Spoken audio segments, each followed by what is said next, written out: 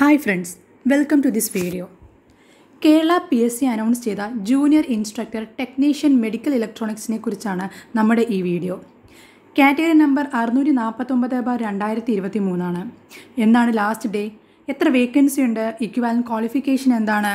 എന്നൊക്കെയാണ് നമ്മൾ ഈ വീഡിയോയിൽ പറയുന്നത്. നമുക്കറിയാം നെയിം ഓഫ് പോസ്റ്റ് ജൂനിയർ ഇൻസ്ട്രക്ടറാണ് ടെക്നീഷ്യൻ മെഡിക്കൽ ഇലക്ട്രോണിക്സ് ആണ്.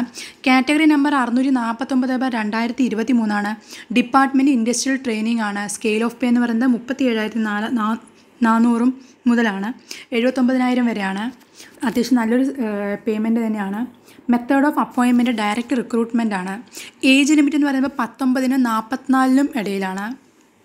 അതുപോലെ തന്നെ only can that is only candidates born between two one nineteen seventy nine and one one two thousand four ആണ്. ബോത്ത് ഡേറ്റ്സ് ആർ ഇൻക്ലൂഡഡ് ആണ്.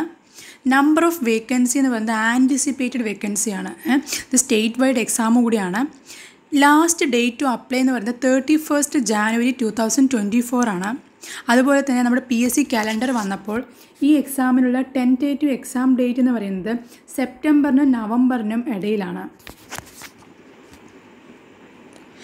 ഈ എക്സാമിലെ ക്വാളിഫിക്കേഷൻ എന്ന് പറയുന്നത് S S L C or its equivalent qualification plus N T C that is national trade certificate in appropriate trade with three years of experience in the trade after obtaining the certificate or national apprenticeship certificate that is N A C in the appropriate trade with one year of experience in the trade after obtaining the certificate or diploma in the appropriate branch of engineering from a government or government recognized polytechnic or its equivalent qualification നമുക്കിതിൻ്റെ ഇക്വാലൻ qualification എന്താണെന്ന് നോക്കാം that is equivalent qualification admitted in the previous selection The following is a list of qualification which were accepted as equivalent or higher qualification in the previous selection of the post. the candidates possessing these qualification can apply for the post by clicking the apply now button. Such candidates need not produce any certificate to prove their equivalent or higher claim.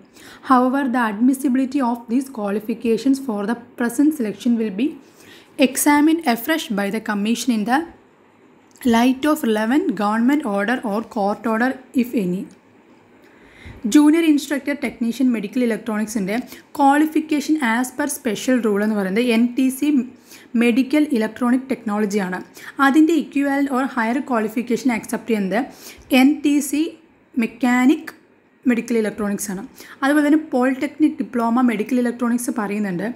അതിന്റെ ഇക്വാലൻ അല്ലെങ്കിൽ higher qualification എന്ന് പറയുന്നത് polytechnic diploma in biomedical engineering polytechnic diploma in electronics and communication polytechnic diploma electronics and instrumentation അതുപോലെ polytechnic diploma applied electronics polytechnic diploma medical electronics polytechnic diploma in electronics and production technology and polytechnic diploma electronics and avionics.